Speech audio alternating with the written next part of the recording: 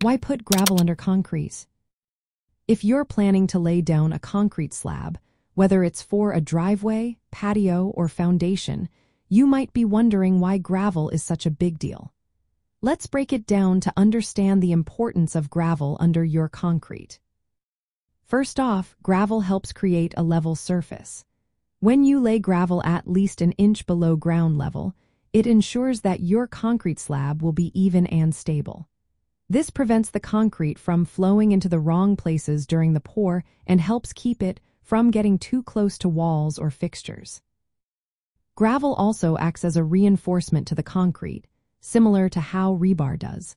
It strengthens the concrete mix and provides additional support, especially for heavy loads like cars or heavy furniture.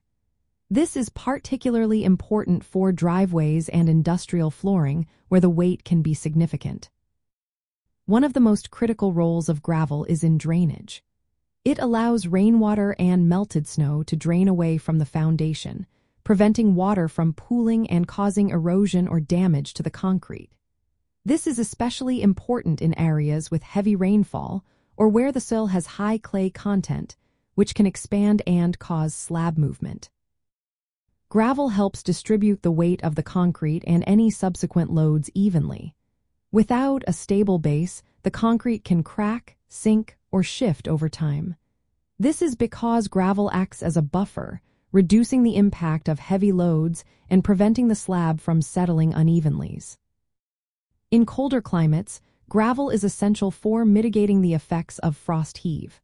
When water in the soil freezes and expands, it can lift or crack the concrete.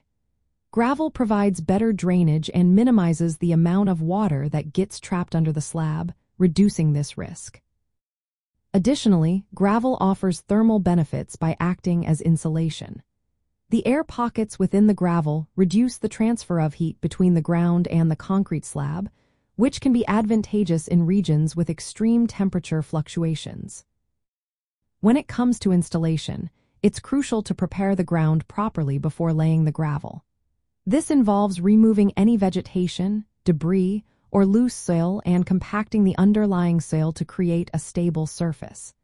The gravel should be laid in layers, typically 2 to 3 inches thick, and properly leveled to ensure an even surface. In summary, gravel under concrete is not just a good idea, it's a necessity.